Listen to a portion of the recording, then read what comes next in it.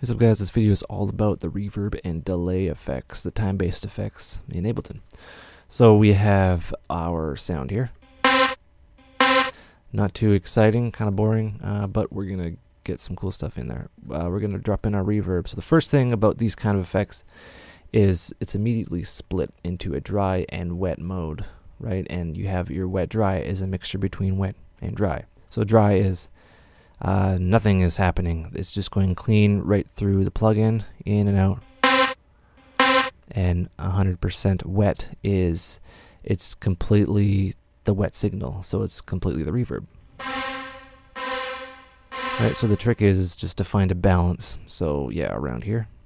Right, so you have the the original sound and the reverb, and it's put in there parallel-ish, and it sounds good that way, uh, but you can do whatever you want. So there's a few parameters on here that I want to bring your attention to. Uh, you have your post filter, so you can select, okay, I don't want this plugin to process any of the low end, which makes a lot of sense. So we'll listen to that now. Right, and that is, it's just a pre-filter before the effect. So think of it as like adding a filter before the effect. Uh, spin is part of the reflections. We'll get into that later. Uh, we have our quality here. Uh, economic, mid, and high. Economic. This is just uh, CPU intensive stuff. It sounds different, so economic sounds like this. And high would be different, different sound slightly. This is the size. This is the room size of your virtual room. So if you want like a recording room, like a or like a shower, or if you want like a massive cathedral, right? You have that. I'm actually going to turn that off. All right. Another thing I want to bring you to is the pre-delay, and this is the sound kind of if you clapped in a gym, uh, this sound would take a while for it to bounce off the wall and get back to you, and that's basically what this is doing. So you can hear that now. Right, take a while for the sound to bounce off the wall and come back to you, and that's your pre-delay. Uh, our decay time is the amount that the sound is bouncing around in the room with. So uh, a shorter decay time is kind of, you know, you can't really hear it. And a very long decay time, uh, five, six, seven, seven, eight seconds. This is good to make, you know, cool trancy stabs and such. Uh, your diffusion, this is a filter for how the sound is bouncing around. So if you want like full on diffusion, that's all well and good. If you want to kind of high pass it, you only want the high end to be bouncing around. Right? And that kind of simulates maybe uh, uh, a very dense room with like a shag carpet, like a very large gymnasium that's all shag carpet. That'd be kind of weird. Or uh, if you have a low pass, um, it would be, you know, a room that has a hardwood floor and shag carpet all over the walls. Right, so so uh, yeah, this is a conventional reverb. There's different kinds of reverbs that aren't in Ableton, like plate reverb, spring reverb, uh, convolution reverb is in Max for Live, but we're not using that. Uh, convolution reverb is more like a room modeling. It's impul impulse response. Yeah, uh, so you have uh, different options uh, for your reflections, which is sound bouncing off, uh, your diffusion, the sound kind of fading away. Uh, scale controls the coarseness of the diffusion. Yeah, makes sense. And density controls the diffusion network density. All right, yeah. We have another thing, it's freeze. And what this does is this, say if you had a room and the, law, the laws of physics were different and your sound it didn't, you know, bounce around and interfere with each other. The sound just stayed bouncing around the room forever and ever. That's what freeze is. Uh, you have to turn off uh, flat and cut. Right, so that'll that will uh, that'll continue forever.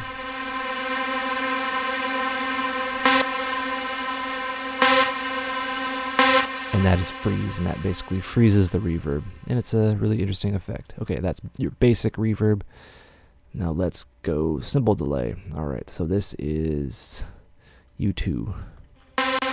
And this is kind of, it's taking the sound and then repeating it at a time afterwards. So right now it's uh, a quarter bar. Uh, we can have it half bar. And, uh, you know, thirds. We can have the top part right here is left and the bottom here is right. You can link them. So this is like a simple delay. And the feedback is the amount of time for that sound to reach zero again. So if you have a very long feedback, you can have like a feedback uh, delay line. 95 is very long. 100% would be like, you know, just constantly overdubbing stuff and all that. Uh, uh, dry and wet acts the same way. Uh, you can sync them, or you know, you can have a custom time, which would be like a free running uh, delay. So like 17 milliseconds kind of sounds like that.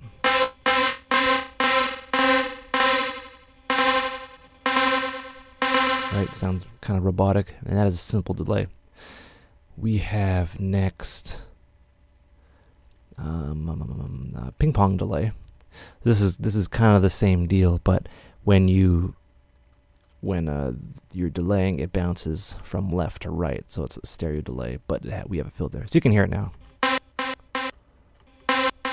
Right, so you hear it in the center channel, and then it goes left, right, right. This is a good way to get like very uh, a very wide sound. Uh, you can you know will you can filter it out. So you, you only get the the delay for the higher frequency content or the lower frequency content, but you want to do this. Say if you have you know a bass that has you know some high end fanciness and you don't want to you know have the low end bouncing around, then you do it this way. And then again, you can freeze the uh, the uh, delay with this little F button here. Uh, you can offset it. So say if you have like an ARP and it's going along and if it's synced, it'll kind of cancel some of the notes out. They'll overlap. So if you kind of offset this, it'll play a little bit before, a little bit after. And I'll try to give you an example of that.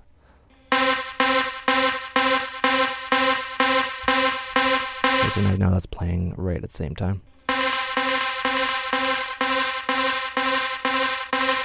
That's a little bit before, a little bit after, 33.3%.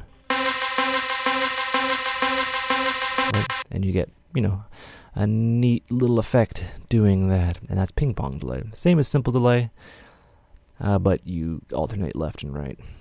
Okay.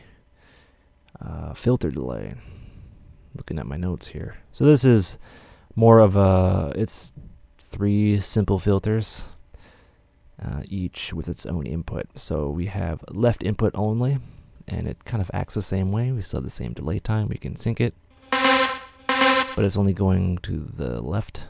We can, oops, we can have it, oops, we can have just the left signal go to both signals, or we can have the left input go to the right.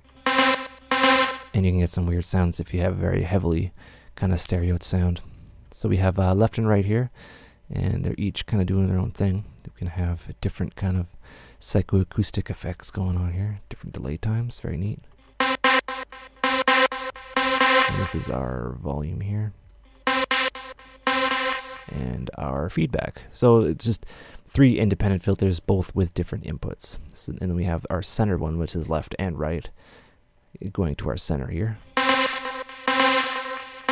You get a very uh, complex uh, uh, delay uh, for, say, trance lead or something else. So it really kind of spiced this up.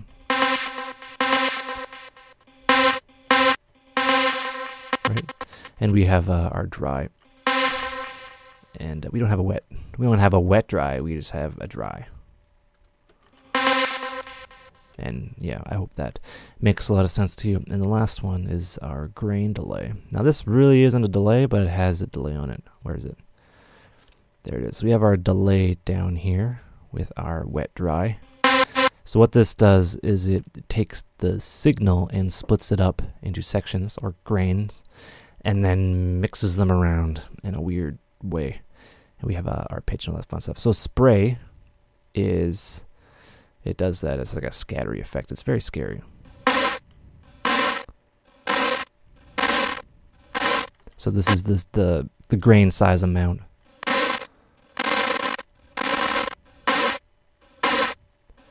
We also have uh, the, the size and duration of each grain. So we can have very small, very large uh, in hertz. So that's 101 times a second. We have our pitch here. Can pitch the grain size down and we can randomize the pitch. This is a randomization amount. Kind of kind of easy to overdo, but you can get some really weird, scary textures. Feedback is the you know the delay amount, and we have uh, wet dry here, and we can sync it.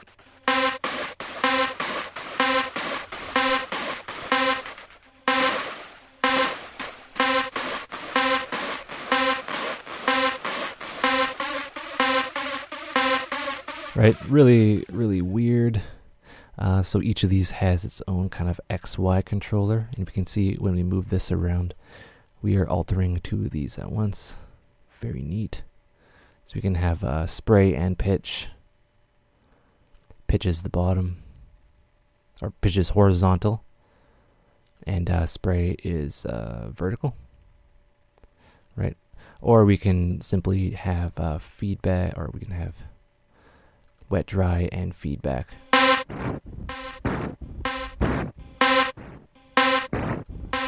And get some really interesting effects that way. Kind of, kind of not really a time-based effect, but you can get really weird stuff out of it.